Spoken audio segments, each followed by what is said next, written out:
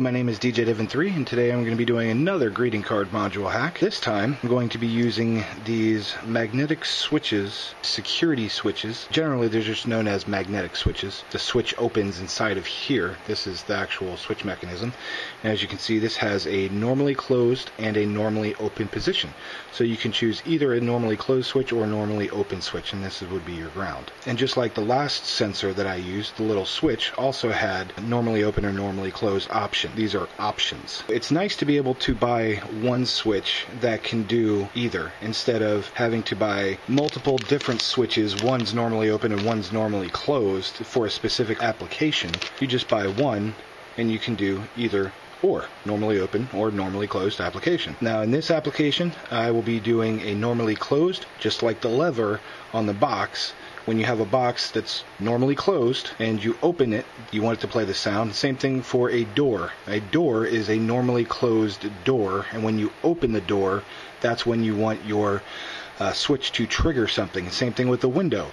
If you open a window, it's in a normally closed state. Windows are in normally closed states. That's a really easy way to think about a normally closed versus a normally open application. Uh, and I've got these off of Amazon. Uh, let's see. I've already mocked this up on my breadboard, and this particular switch has about a 20 millimeter gap. Let's say about right there.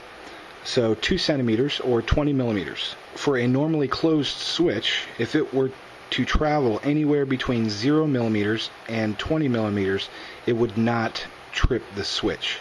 So you have a little bit of a little bit of play there. As soon as it goes beyond 20 millimeters out, the switch is tripped. So there's a little bit of play there.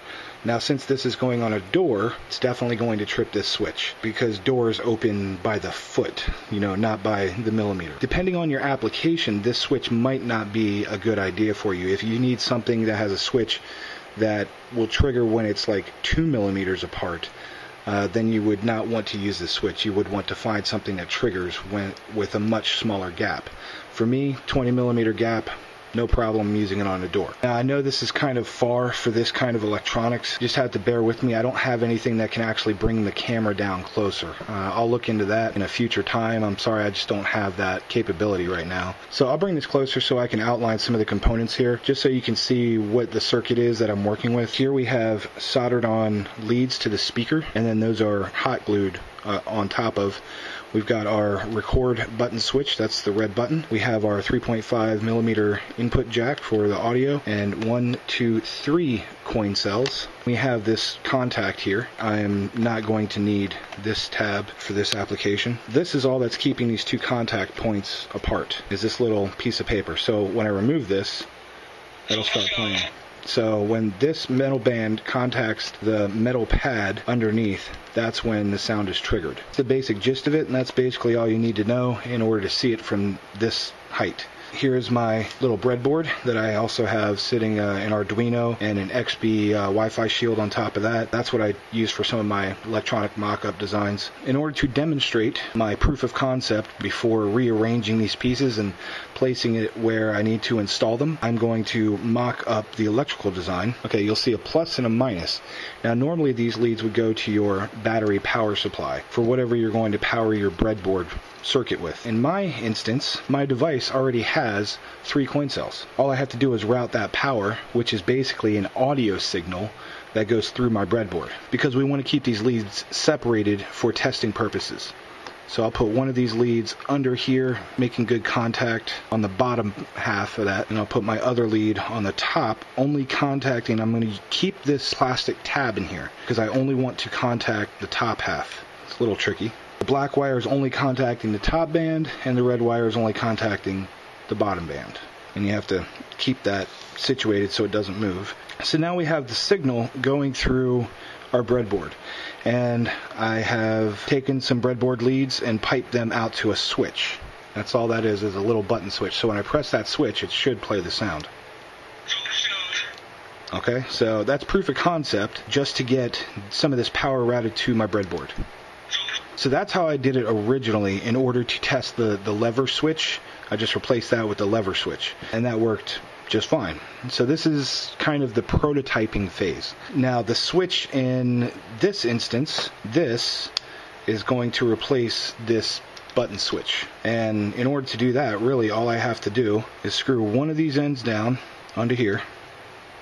This is a normally closed switch. When I pull these apart by more than 20 millimeters, the switch will activate because that is the specified gap for this particular switch. There we go. Takes a little bit. If I connect this up to a door, when the door swings open,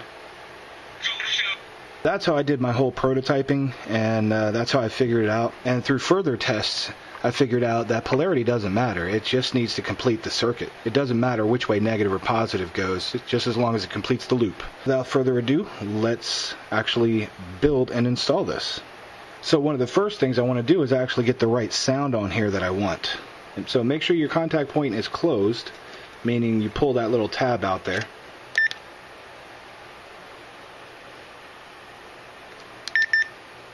And that's all there is to it. So that is the next generation door chime. And to play it, the next step is going to bend back this prong to reveal the solder pads. So I'm going to take my little cutters here and cut that tab off. So little tab cut off. And that is very sharp. Get a little file and just file that down.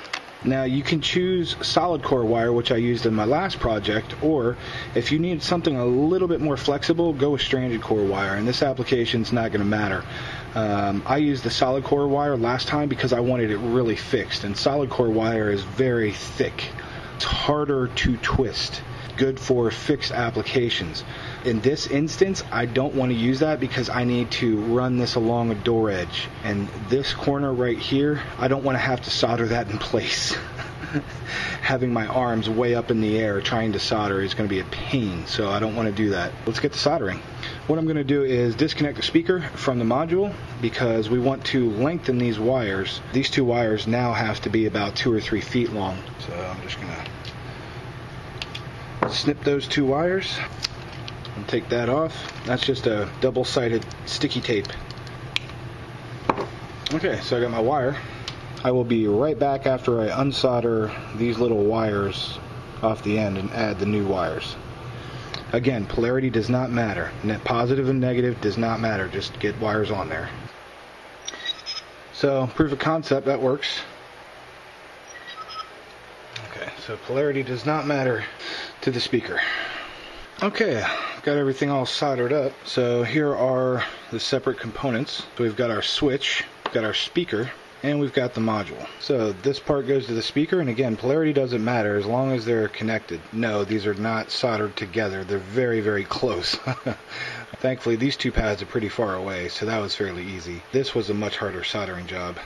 It's not the best in the world, but whatever, as long as it works. And here's the actual diaphragm of the speaker. Looks vacuum formed. So let's go install it. So as long as I can stuff it back there and then run the wires down. Crap, I can't run the wires down here. Oh, that's right, I'm just going to put the speaker right there. I will just attach up there somewhere. I just have a hot glue gun. I'm just going to hot glue it.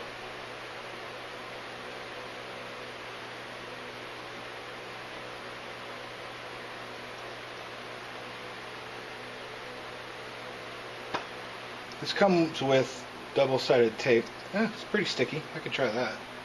Yeah, it seemed to work pretty well. Uh, yeah, it's not too bad. It's obviously not as loud as I was kind of hoping for, and that was at max volume. It's just the sound itself that wasn't loud enough. If I really wanted to, I could throw it through an audio editing program bump up the gain on the actual sound clip, save the file to an MP3 or something, and then put it back in and re-record it so it's louder. So I changed the sound because I figured the Star Trek thing was kind of eh, outdated. So I wanted to go with something a little bit louder and something a little bit more modern. So here's the final install.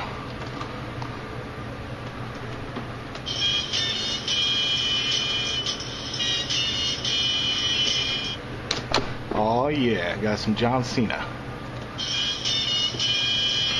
Well, I hope you enjoyed that. Eh, just a neat, fun project. And if you're really into stuff like this, I highly recommend you pick up an Arduino. You'll have a lot of fun with those. It really helped me understand circuit design and how to do things like this. Hope you enjoyed the video. I'm not going to beg you to subscribe because I hate freaking people that beg to subscribe kind of crap. Uh, do it if you want. Doesn't bother me either way. I do prefer that if you do like it,